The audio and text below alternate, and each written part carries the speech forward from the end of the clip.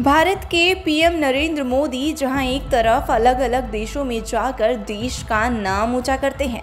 हाल ही में सुना भी होगा कि पीएम नरेंद्र मोदी को दूसरे देश में बोस कहा गया। लेकिन अक्सर आप सभी ने ऐसी खबरें भी सुनी होंगी जो हिंदू मुस्लिम दंगों पर आधारित होती हैं। हर साल ऐसे मुद्दे उभर कर आते हैं। वहीं यह बात विदेश के पूर्व राष्ट्रपति बराक ओबामा ने पीएम नरेंद्र मोदी के लिए कटाक्ष भरा बयान दिया है।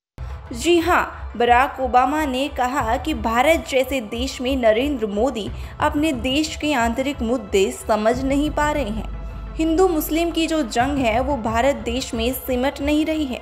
ये बयान हाल ही में काफ़ी चर्चित हो रहा है। वहीं ट्विटर पर ट्रेंड पर चल रहा है बराक ओबामा हुसैन।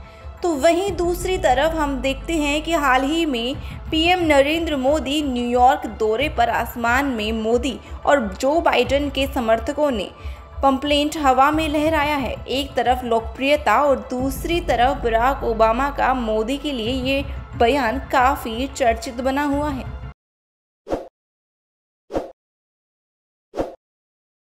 ताज़ा खबरों के लिए विज़िट करें द फैक्ट इंडिया की वेबसाइट और डाउनलोड करें द फैक्ट इंडिया ऐप।